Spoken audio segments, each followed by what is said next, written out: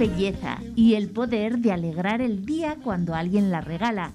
¿Pero conocemos el verdadero poder de las flores? Sí, sí, eso es indudable, que tienen poder a muy distintos niveles. Aparte de, la belleza visual que a todo el mundo nos gusta, que siempre, pues eso, cuando ves a alguien un poquillo deprimido, un poco tristón, pues una flor siempre va a ser un motivo de, cambiarle el ánimo.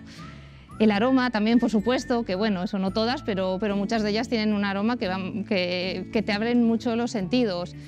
También, pues luego ya hay cosas más específicas, como, bueno, todas liberan oxígeno, pero hay flores más concretas, plantas más concretas que purifican mucho el aire. Luego, pues también plantas curativas a nivel digestivo, a nivel las plantas culinarias para la comida, a nivel estético también, como la, el aloe, puedes recurrir a ello. Más poderes, pues quizá, pues todos sabemos que con ordenadores cerca, el tema de los cactus que absorben radiaciones también es muy beneficioso.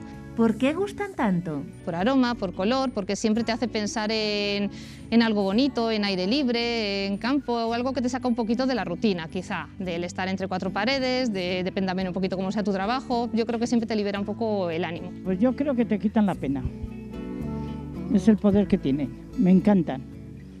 Yo por las flores es que voy a los viveros y, y si voy a por pan me quedo sin pan. por, por, comprarme flores. Pues no lo sé si es el colorido o es la belleza que tienen las flores, no lo sé. Pero a mí me hacen una satisfacción muy grande. El poder de levantar el estado de ánimo, pero también el de purificar el aire, aportar humedad al ambiente o eliminar radiaciones nocivas. Aquí, por ejemplo, tenemos un ejemplo muy claro, la sansiviera. Digo un ejemplo muy claro porque sale como en todos los foros, en todas las páginas de internet y es una planta que nos la están pidiendo mucho.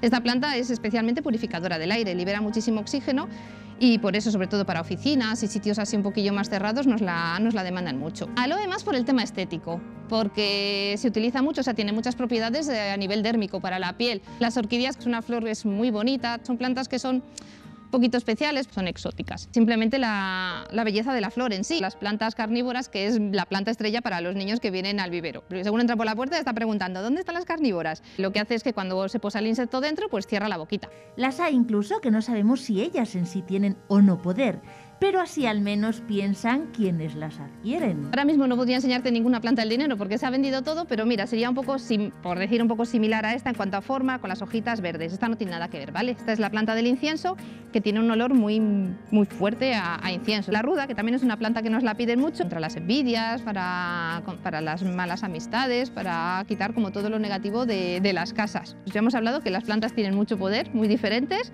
y este, bueno, pues podría ser uno de ellos. El aroma de muchas de ellas nos relajan y nos hacen sentir bien, estimulan nuestra creatividad, mejoran el humor, incluso aportan color terapia.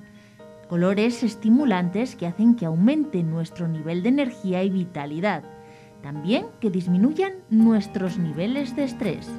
Es el poder de las flores. Una planta o una flor siempre es un acierto seguro. Tell